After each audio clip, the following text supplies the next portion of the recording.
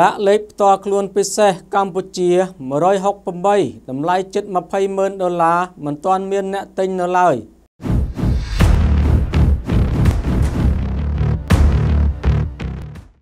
ឯកឧត្តមសុនចន្ទថុលទេសរដ្ឋមន្ត្រីរដ្ឋមន្ត្រីក្រសួងសាធារណការនិងដឹកជញ្ជូនបានឲ្យដឹងថាឡាកលេខផ្ទាល់ខ្លួនពិសេសកម្ពុជា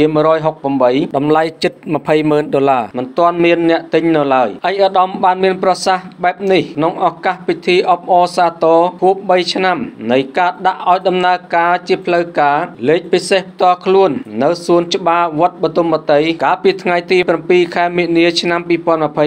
ឯកឧត្តមបានមានប្រសាសន៍ថាលេខទាល់ខ្លួនពិសេសលេខហុងស៊ុយកម្ពុជា168ដែលមានតម្លៃជិត20ម៉ឺនដុល្លារមិនទាន់មានអ្នកទិញនៅឡើយហើយលេខពិសេស